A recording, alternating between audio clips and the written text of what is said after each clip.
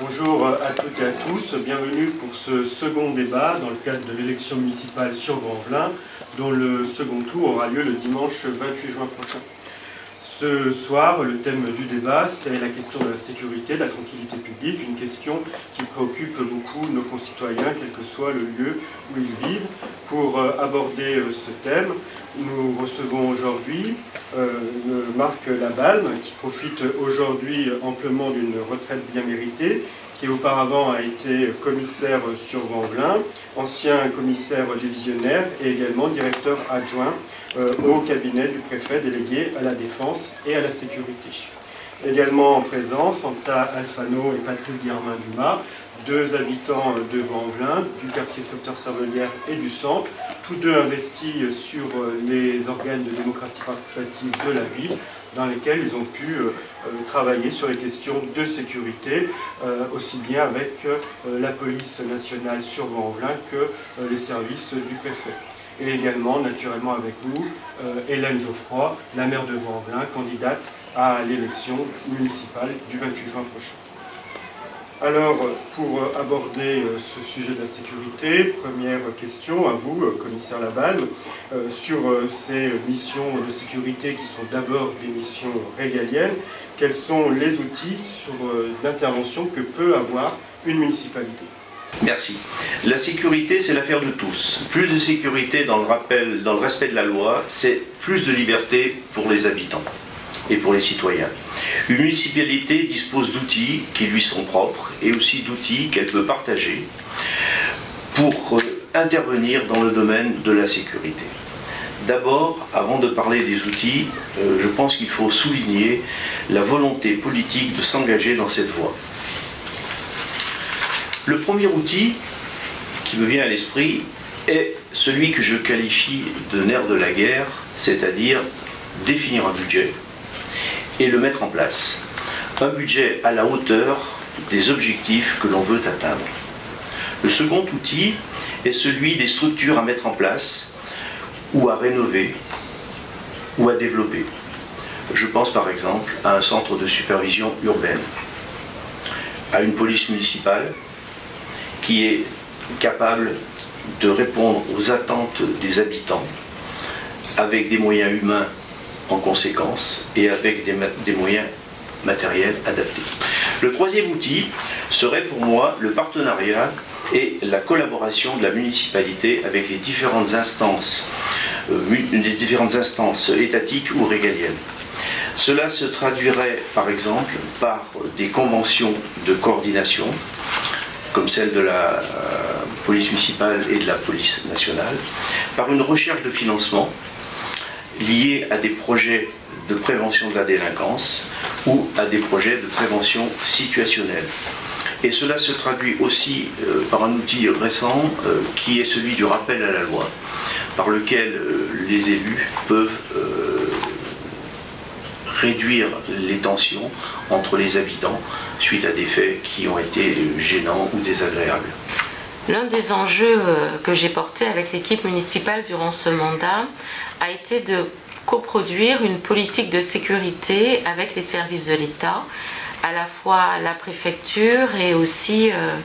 euh, la partie judiciaire la, question a été de se dire comment nos polices municipales et la police nationale peuvent travailler le mieux possible. Et une convention a été établie avec les services de l'État et la ville, entre le service de l'État et la ville, pour pouvoir identifier les champs d'intervention et que les polices puissent être complémentaires dans leurs interventions. Il a fallu aussi, et le commissaire Laban me le rappelait, s'appuyer sur un budget. Le, budget est passé de 1,5 million d'euros à plus de 2,7 millions d'euros en fonctionnement, un budget de 2 millions d'euros en investissement, puisque nous avons créé totalement un poste de police municipale que les effectifs ont été multipliés par 5, le nombre de caméras a triplé parce qu'il fallait avoir les outils de la tranquillité publique qui permettent à la police nationale de faire des réquisitions d'images, par exemple pour un centre de supervision urbaine, puis ensuite que la justice puisse en saisir pour pouvoir établir des faits et ensuite entraîner euh, évidemment des procédures judiciaires. Donc on est vraiment aujourd'hui sur un moment où euh, l'ensemble de la question de tranquillité publique a été prise conjointement, de façon la plus coordonnée possible avec les services de l'État, afin qu'elle puisse produire ses fruits. Donc des moyens pour la police municipale largement augmentés sur ce mandat, vous l'avez dit Madame la maire, 2 millions d'euros d'investissement, un quintuplement des effectifs de police municipale, un triplement des caméras, du nombre de caméras de, vidéoprotection. Mais avec ces moyens, commissaire Labanne, quel est le rôle que peut avoir une police municipale auprès des habitants afin d'assurer la tranquillité publique? Eh bien, euh, la police municipale, selon moi, doit être présente et visible. Euh, je pense que le rapprochement de la police municipale euh, par l'îlotage permet de garder un contact plus grand avec les habitants et ainsi de faire remonter euh, un ressenti euh, d'une population qui parfois a du mal à l'exprimer. Le second point, euh, c'est que la police municipale, selon moi, doit d'abord être préventive. Mais préventive, pas seulement, parce qu'elle doit être aussi, malheureusement, entre guillemets, je dirais, aussi répressive. Cette répression, euh, à mon sens, elle doit s'exercer surtout dans des domaines euh, où euh, la sécurité gêne l'habitant, et en particulier le stationnement illicite,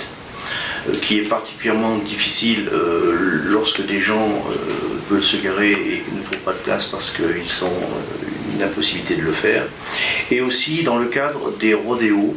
qui sont fréquents et pour lesquels ceux qui les conduisent n'ont pas forcément conscience du danger qu'ils font courir aux autres et qu'ils en courent eux-mêmes. Donc sur ces champs-là, à mon sens, la police municipale doit être malgré tout une police répressive.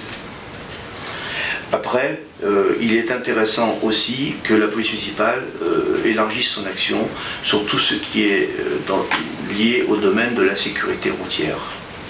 Une police municipale, évidemment, travaille de façon, je le disais, euh, de façon complémentaire à la police nationale, dont je rappelle qu'elle a évidemment la compétence d'intervention sur les sujets de délinquance aggravée, de banditisme. Et comme le, rappelle le commissaire Labalme, nous sommes sur un champ d'intervention, je dirais, du quotidien, d'apaisement de, de la vie quotidienne des habitants. Et c'est ainsi que la police municipale, dont le taux de verbalisation a largement augmenté, intervient pour avoir de la tranquillité sur nos parcs et jardins, euh, permet aussi de travailler sur les questions de sécurité routière, nous menons des opérations en coopération avec la police nationale, notamment pour identifier les vitesses excessives sur les routes euh, de la ville. Et puis sur la question des rodéos, qui sont un sujet euh, de difficulté particulière, c'est aussi en lien avec la police nationale, mais nous avons développé une brigade motorisée qui est aujourd'hui de trois motards, qui sera euh, dans le prochain mandat de 10 motards, qui permet, avec l'aide des caméras de vidéoprotection, de pouvoir limiter ce qui est un vrai fléau, tout en travaillant évidemment avec la police nationale euh, qui en a euh, la compétence première. Mais il nous semble important, et c'est peut-être l'un des enjeux, que la police municipale reste, euh, et je le souligne à mon tour, dans une grande proximité avec les habitants, que nous ne sommes pas là sur, le, je le redis, la délinquance, le maintien de l'ordre, mais bien sur des champs qui permettent aux habitants d'être plus tranquilles dans leur cadre de vie quotidien. je vais peut-être maintenant me tourner vers Santa Alfano et Patrice Guermain-Dumas je l'ai dit, en tant qu'habitant du Grand Mât ou du centre actif dans les organes de démocratie participative, vous avez eu l'occasion d'échanger et de travailler avec euh, le commissariat de Vaux-en-Velin, avec aussi euh, parfois les services de, la préfecture. Vous venez d'entendre parler euh, de verbalisation, d'actions menées contre les rodéos, sur la délinquance routière, sur la tranquillité publique dans les parcs comment, en tant qu'habitant investi euh, sur la ville, vous ressentez, vous percevez euh, cette action qui est menée. Je vais peut-être d'abord me tourner vers euh, Madame Alfano. Depuis le mandat de Madame Geoffroy, c'est vrai que nous avons vu beaucoup plus souvent la police nationale et la police municipale sur nos chemins. donc elle est beaucoup plus présente. Il y a beaucoup moins, moins de rodéos sur nos chemins également. Cependant, les deux points principaux qui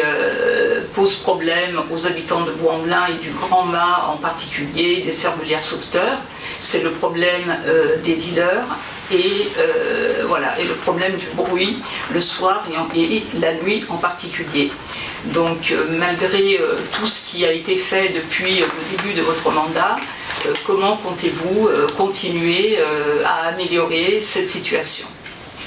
Alors il y a des actions menées par les différentes polices nationales et municipales, mais quelles sont les actions qui sont menées par les services de la ville? C'est parti. Les questions de tranquillité publique et notamment celles liées au, au trafic de stupéfiants, au rodéo que j'évoquais tout à l'heure,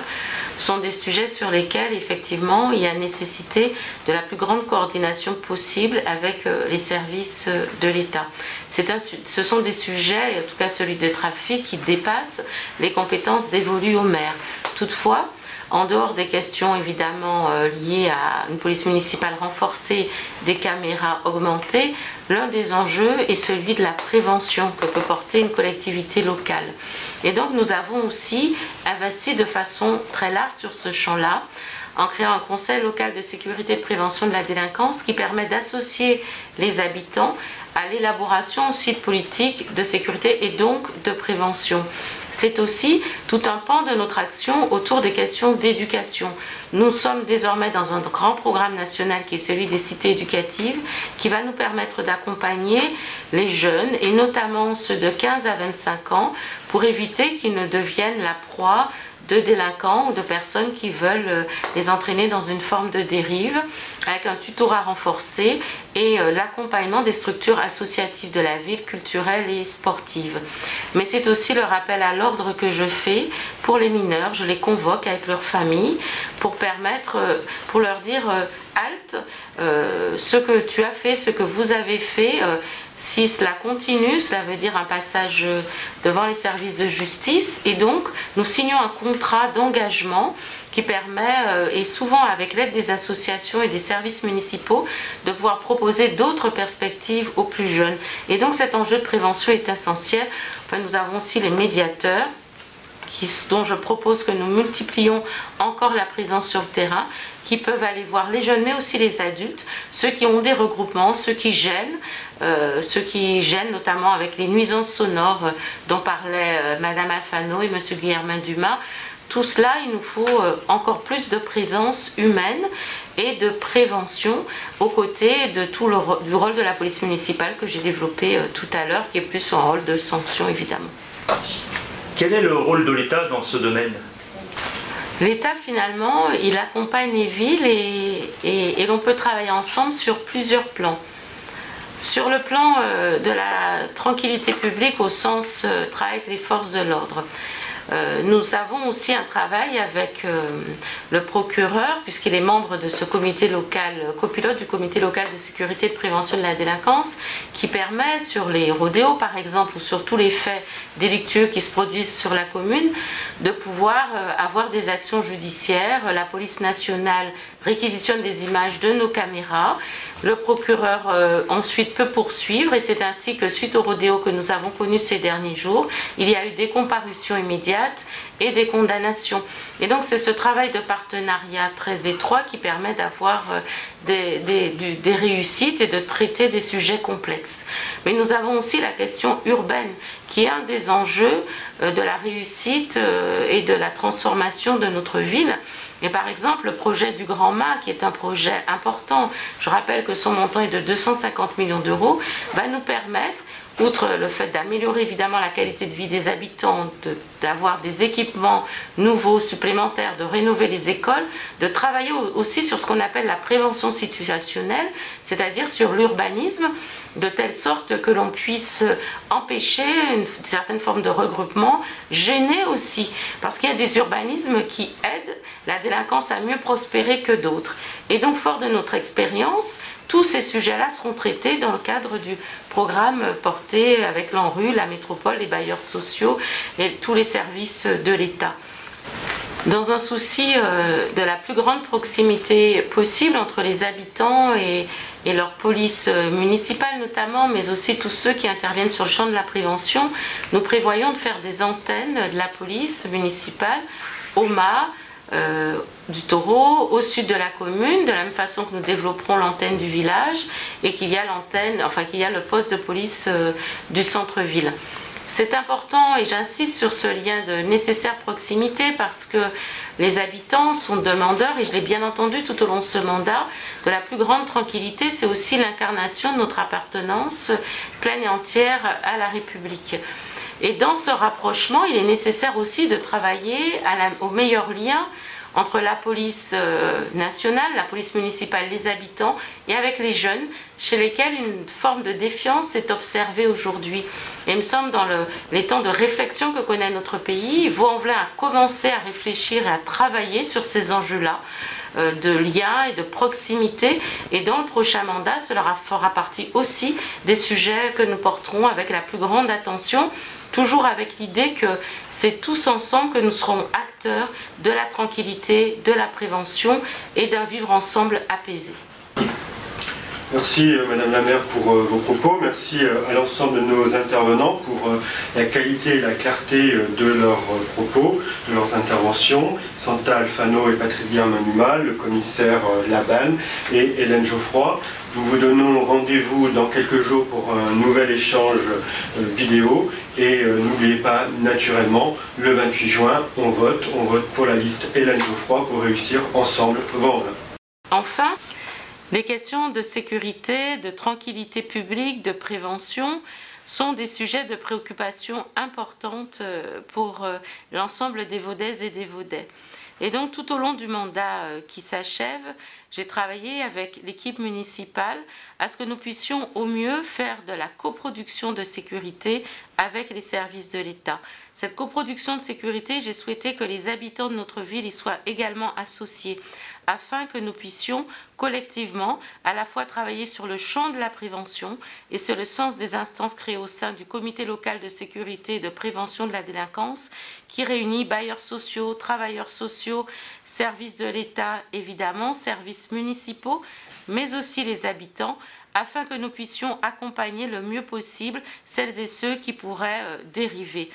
C'est le sens des cités éducatives que nous allons mettre en place parce que nous avons été retenus au niveau du dispositif national porté par l'État. Tous nos jeunes de 2 à 25 ans vont être accompagnés, tutorés, pas seulement par les services municipaux, mais par l'ensemble des adultes et des associations de notre ville. C'est un plan très ambitieux dont je souhaite aussi parler parce que c'est celui qui nous permettra de redonner toutes les perspectives d'éducation, de formation et de rentrer dans la vie professionnelle aux jeunes de notre commune pour qu'ils ne puissent pas être la proie de celles et ceux qui sont, qui, sont dans la délinquance. Mais c'est aussi une police municipale qui a été renforcée. 35 policiers municipaux aujourd'hui, 100 dans le mandat prochain. 85 caméras désormais, 160 dans un prochain mandat accompagné du développement de drones pour que nous puissions au mieux, en plus grande proximité, accompagner les efforts de la police judiciaire dans son travail de répression de tous les trafics qui, qui peuvent exister sur notre commune.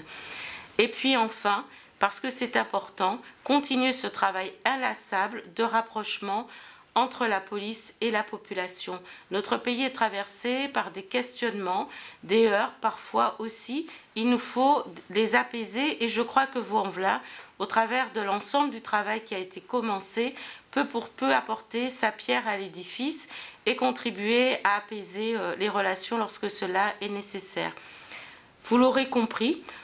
c'est une politique de sécurité, de tranquillité publique et de prévention déterminée et ambitieuse que je mènerai avec mon équipe lors d'un prochain mandat